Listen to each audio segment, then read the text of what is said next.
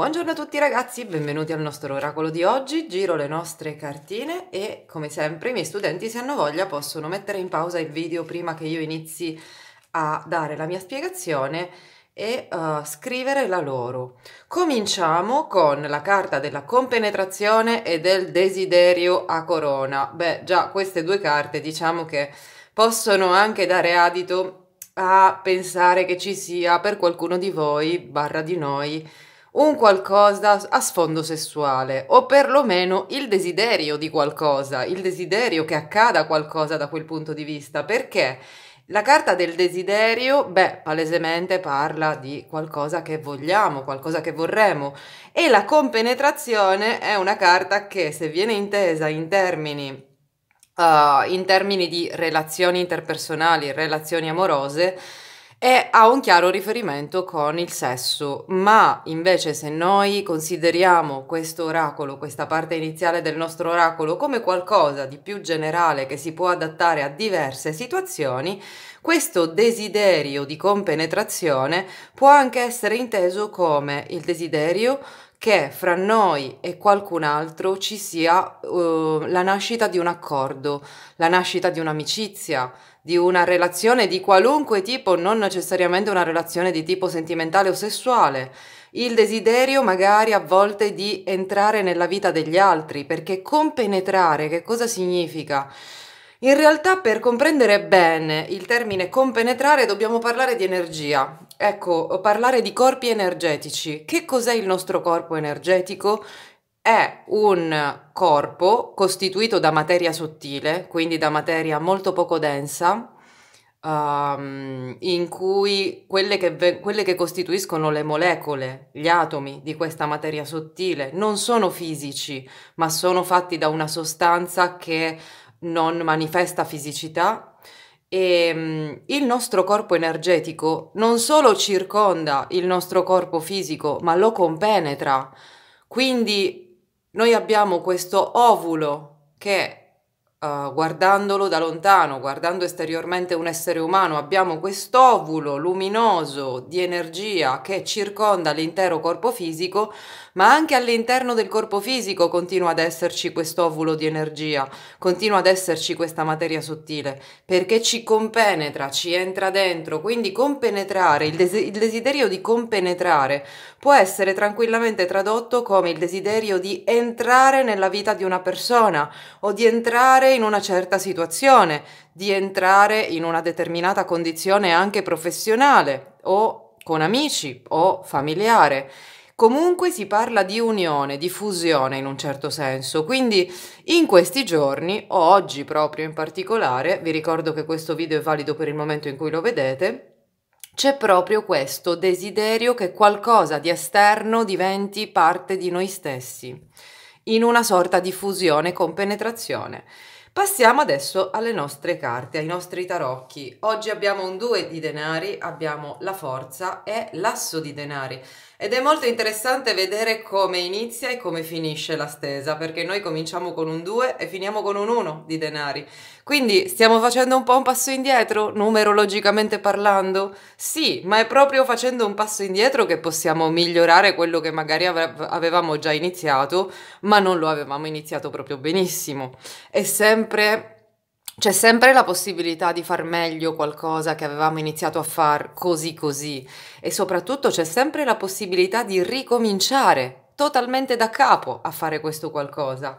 Con il due di denari però il nostro giocoliere sembra che mentre aspetta qualcosa il motivo per cui aspetta qualcosa questo tipo di giocoliere è perché se voi vedete, guardate lo sfondo, guardate il paesaggio, guardate questa nave e guardate il mare agitato. Cosa significa mare agitato? Dal punto di vista esoterico, il mare, l'acqua, le emozioni agitate. Quindi abbiamo un mare, abbiamo un mare di agitazione dentro, abbiamo emozioni che non riusciamo bene a tenere a bada, che non riusciamo bene a controllare.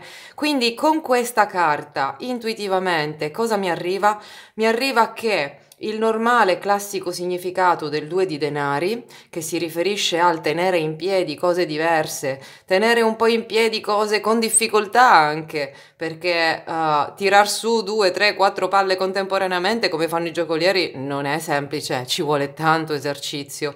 E allora noi non è magari da un po' di tempo che siamo abituati a gestire le nostre emozioni più forti, più agitate e ormai è diventata quasi una cosa normale, come se fosse una routine quotidiana. Ebbene sì, si tratta proprio di gestire queste emozioni, mentre una nave che sembra proprio dirigersi verso di noi, perlomeno da quello che mi appare nell'immagine. È chiaro che ehm, facendo lettura intuitiva, uh, ognuno vede un po' quello che ha dentro se stesso. Io in questo caso sto guardando dalla mia prospettiva, dal mio punto di vista, sto vedendo una nave che si avvicina verso la riva e mentre la nave si avvicina, cioè mentre qualcosa sta arrivando nella nostra vita, noi siamo come dei giocolieri che cercano di sopportare l'attesa, di fare eh, il meglio che possono in attesa appunto che questo qualcosa arrivi per cambiare la nostra situazione.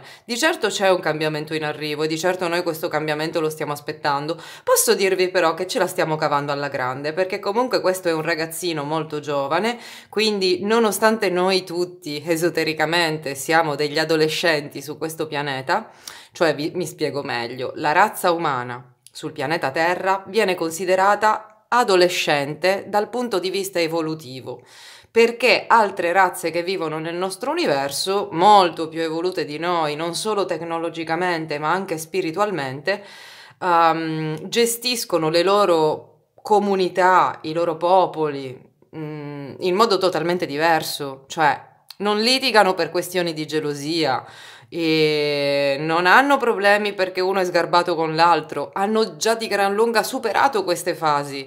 Noi invece siamo ancora come degli adolescenti e questa carta ci sta proprio dicendo che nonostante la nostra giovane età dal punto di vista evolutivo, Comunque siamo già diventati abbastanza bravi a cavarcela, a tenere un po' tutto in piedi, a evitare che crollino i nostri castelli, perché è vero, le nostre vite sono spesso davvero in bilico e mm, cerchia- dobbiamo sempre cercare di tener su cose che altrimenti andrebbero in malora. E molti di voi sono bravissimi, lo so, lo so.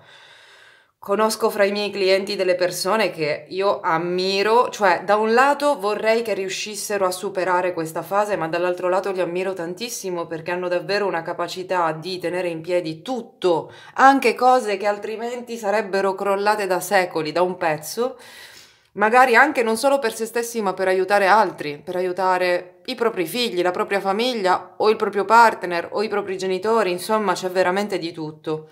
È solo che più noi siamo in questa condizione di um, tensione, perché per tenere insieme 2, 3, 4, 5 palle, come abbiamo detto, non è semplice fare i giocolieri, più noi stiamo in questa situazione di tensione, più comunque da un lato impariamo a starci dentro, ma dall'altro, dall'altro, lato abbiamo anche l'opportunità di capire che non è una nostra condizione naturale. La condizione naturale per l'essere umano è la felicità, è l'amore, è la gioia. Su questo pianeta non è così perché perché karmicamente siamo tenuti a sciogliere tanta roba, tantissime cose. E perché um, non, voglio, non, voglio, approfondire troppo questo tema in questa sede, ma è perché comunque um, noi in realtà siamo comandati barra governati, qui non mi sto riferendo a esseri umani, mi sto riferendo al fatto che noi siamo governati da entità che vivono su questa dimensione, sul piano fisico, ma che vivono anche su altre dimensioni, sui cosiddetti piani spirituali. E questo genere di entità si nutre delle nostre emozioni più negative. Quindi, siccome eh, tutti hanno qualcosa da mangiare e tutti vengono mangiati nella catena alimentare, l'essere umano che dal punto di vista biologico ci insegna una scuola è all'apice della catena alimentare perché nessuno lo mangia, non è vero. Anche l'essere umano nutre altre entità. Semplicemente noi non lo vediamo perché non siamo, non sono entità sul piano fisico. Quindi mentre noi tiriamo via il latte alle mucche, prendiamo la lana delle pecore, mangiamo le uova delle galline, nessuno lo fa con noi? No, non è vero che nessuno lo fa con noi entità che vivono su piani dimensionali paralleli al nostro, invisibili per noi, succhiano le nostre emozioni. Alcuni si nutrono delle nostre emozioni più positive, altri si nutrono delle nostre emozioni più negative. E potete approfondire il tema, per esempio, leggendo Castaneda, che parla tantissimo dei voladores. I voladores sono, il, sono queste entità che si nutrono di noi stessi e delle nostre energie negative e quando noi stiamo male ci godono alla grande, fanno banchetto. Esistono ovviamente tanti altri autori che chiamano queste stesse entità in altro modo. Io ad esempio nomino spessissimo il professore Corrado Malanga perché lui da un punto di vista più scientifico e più moderno parla di queste entità come di alieni adimensionali o, o comunque uh, li definisce alieni che vivono appunto su altre dimensioni, ma non importa il nome o il cognome che noi gli diamo, esistono queste entità. Nel mondo esoterico si conoscono da sempre, uh, esoteristi, gli esoteristi più famosi le hanno da sempre richiamate per i loro scopi, prendete ad esempio un Alistair Crowley, um, un ex appartenente della Golden Dawn, il quale divenne famoso, molto conosciuto perché iniziò a praticare quella che viene chiamata magia nera e per praticare questo tipo di magia lui richiamava delle entità che venivano definite egizie per vari motivi e che noi comunque possiamo definire egizie e queste entità poi ubbidivano ai suoi comandi. Ora, l'argomento è molto interessante ed è molto complesso, quello che voglio farvi sapere è che ne- non è vero che nessuno mangia gli uomini. Gli uomini nutrono così come le mucche nutrono di latte noi, noi nutriamo di energia altre entità che ognuno chiama a modo suo, ma che se volete potete approfondire tramite tantissimi diversi autori. Quindi, mentre noi siamo qui con il nostro due di denari a cercare di tenere un po' tutto in piedi e di sopportare le emozioni, una delle cose che dobbiamo sopportare, che dobbiamo tenere in piedi, tra l'altro, sarà proprio in questi giorni una nuova scoperta. Qualcosa di nuovo che viene a galla, che esce fuori alla luce del sole e ci provoca uno scombussolamento a livello emotivo. Noi non, sa- non, sa- non ce l'aspettavamo. Non eravamo pronti e preparati a questa cosa e quindi questa nuova notizia che noi riceviamo o questa nuova scoperta che noi facciamo ci mette un po' in difficoltà, ma ce la caviamo, ce la caviamo. Per qualcuno, ragazzi, solo per qualcuno, la nuova scoperta o questa nuova cosa che sta arrivando è proprio il fatto che sta per venire da voi qualcuno, sta per avvicinarsi qualcuno e voi lo venite a sapere. Il, la seconda carta, che è quella della forza, ci mette in guardia e ci dice che nonostante tutto dobbiamo tener duro, nonostante tutto dobbiamo stare molto attenti a controllare le nostre emozioni e a non lasciarle andare in modo disorganizzato, in modo come non dobbiamo uh, lasciare andare le emozioni solo per sfogarci e non dobbiamo dimenticare le cose importanti in tutto questo. Se riusciamo a mantenere questa condizione di calma, l'ultima carta che è l'asso di denari promette non bene ma benissimo, perché questo asso di denari ci dice che se noi riusciamo a mantenere davvero il controllo, ci troveremo esattamente dove dobbiamo essere, a fare esattamente quello che dobbiamo fare e da qui in poi inizieranno le cose a diventare davvero buone per noi. Quindi che cosa, qual è la cosa importante da comprendere? Semplicemente che dobbiamo star calmi, non ci dobbiamo agitare, non dobbiamo dimenticare cose importanti e per qualcuno di voi ragazzi, se state ascoltando oggi, state attenti, non dimenticate a casa portafogli, chiavi di casa, ombrello, qualunque cosa vi serva, documenti. Se c'è oggi qualcosa che dovete tirar fuori da casa e portare con voi, fatelo. Attenti, controllate la borsa due volte prima di uscire. Ora, a questo punto io credo che se noi mettiamo insieme quello che abbiamo visto nei nostri tarocchi e quello che abbiamo visto nelle nostre carte a corona, che sono tarocchi egizi, Uh, noi in effetti abbiamo questo desiderio di entrare a far parte di qualcosa di importante. Abbiamo il desiderio di aggiungere qualcosa alla nostra vita e abbiamo l'opportunità per farlo. Semplicemente rimanendo calmi e rilassati e non perdendo la calma. Adesso però andiamo a vedere più nello specifico che cosa accade nelle relazioni sentimentali. Quindi andiamo a vedere sia per chi è in coppia sia che per chi è single che cosa accade fra il sacro maschile e il sacro femminile, che non significa uomo e donna strettamente, ma significa solo che stiamo canalizzando uno dei due canalizza più un'energia maschile e uno dei due canalizza più un'energia femminile. Qualcuno potrebbe domandarsi, ma è sempre così? È sempre un, uno dei due più maschile e uno dei due più femminile? Sì, non per questioni di sessualità, ma per questioni energetiche. L'uno è fatto da una metà di energia maschile e una metà di energia femminile. Quindi in qualunque coppia, indipendentemente dal fatto che sia composta da uomo e donna, oppure due uomini o due donne, o un extraterrestre e un, un X, non importa, comunque c'è sempre una distribuzione fra energia maschile ed energia femminile. O uno dei due canalizza più quella maschile e l'altro quella femminile, o entrambi manifestano un po' di tutte e due. Quindi andiamo un po' a vedere adesso che cosa sta succedendo da queste parti. Il nostro sacro maschile in questo momento sembra abbastanza coraggioso, abbastanza impavido, pronto a superare tutte le difficoltà della vita e pronto a raggiungere i suoi obiettivi. Però qual è il problema? Il problema è che è troppo facile così, perché è vero che il maschile è coraggioso e non ha paura, ma il motivo per cui questo sta accadendo è perché non vuole impegnarsi in cose serie, non in questo momento perlomeno. Qui abbiamo un maschile che vuole prendere le cose con calma, con leggerezza eh, anche se si tratta di giocare, appunto, anche se si tratta di giocare e purtroppo per qualcuno si tratta di prendere in giro, solo per qualcuno. Non ci agitiamo. È ovvio che esistono i casi più estremi e nei casi più estremi ci sono di mezzo anche altre persone, ragazzi, bisogna dirlo, ci sono proprio... Eh, non è nemmeno una cosa fatta poi così nascosta, sembra che non... questa persona non si impegni poi nemmeno più di tanto a nascondere le proprie bugie o i propri inciuci. Invece, per quanto riguarda il sacro femminile, il sacro femminile non è stupido e capisce quando il sacro maschile non è totalmente onesto Uh, qualcuno sta ignorando l'altro, c'è forse una fase in cui uno dei due sta ignorando l'altro perché sta cercando di far di dare la sensazione che l'altro non sia poi così importante. Ebbene, non è un problema.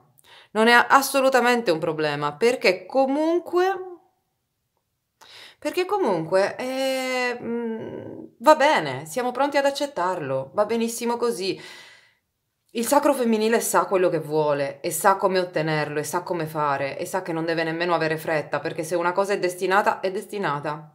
Allora adesso il sacro femminile sta diventando molto più forte, ha smesso tra virgolette di lamentarsi, il sacro femminile è pronto a fare sacrifici, questo è chiaro, ma è anche pronta a chiudere e passare oltre che si tratti di un passare oltre momentaneo, perché poi il femminile è furbo, il femminile lo sa che se passa oltre per molti di voi, ovviamente non per tutti, ma per molti di voi, se il femminile passa oltre, il maschile appena capisce che sta perdendo qualcosa, torna indietro, va a prenderlo di nuovo, ma anche quando questo non dovesse essere il caso, anche lì dove il femminile sa che rischia di perdere qualcosa, ormai il femminile sa che può solo guadagnarci, perché perde qualcosa che non va e quindi può entrare nella sua vita qualcosa di nuovo e di più adatto, qualcosa di migliore. E il sacro femminile è pronto anche a farlo questo sacrificio, perché sì, si tratta di un sacrificio, il lasciare andare non è semplice. Ma va bene, va bene, questo è anche, fa parte del crescere, fa parte del diventare adulti, fa parte dell'imparare dagli errori e uh, cambiare. E adesso, angeli, che cos'altro avete voi da aggiungere per noi comuni mortali qui su questo pianeta? Cos'altro avete da dire? Come potete aiutarci? Che suggerimento potete darci? E intanto ragazzi chi vuole una lettura privata o un pacchetto o vuole info sui videocorsi potete contattarci a tutti i link o i numeri che trovate qui in giro scritti. 5 di aria, e eh, va bene, allora Um, in, il consiglio è quello di imparare tutto quello che possiamo da questa situazione, cioè cerchiamo davvero di sfruttare al massimo perlomeno gli eventi dal punto di vista degli insegnamenti che ci stanno trasmettendo, perché in effetti qualcuno ha fatto una scelta poco saggia, ormai questo è chiaro. E però condannare, giudicare, criticare non serve assolutamente a niente, anche questo è chiaro, quindi piuttosto cercate di pensare alle ragioni per cui ciascuno ha fatto le sue mosse. Cercate di ricordare tutto quello che è accaduto pensando appunto ai motivi che hanno spinto ciascuno a comportarsi così. E imparate tutto quello che potete, mettetevi nei panni dell'altro. E nonostante sia stata fatta una scelta poco saggia, è vero che questo ovviamente può mh, mm, rallentare, ritardare le nostre cose, i nostri interessi, però allo stesso tempo ci sta anche dicendo dove non dobbiamo più sbagliare dove non dobbiamo più fare gli stessi errori ed è sicuro che da adesso in poi noi gli stessi errori non li faremo più. Quindi ragazzi, io spero come sempre di esservi stata utile, vi mando un abbraccio grandissimo, vi auguro una splendida giornata, noi ci vediamo a domani, mi raccomando comportatevi bene, divertitevi e uh, un bacione da Fuerteventura.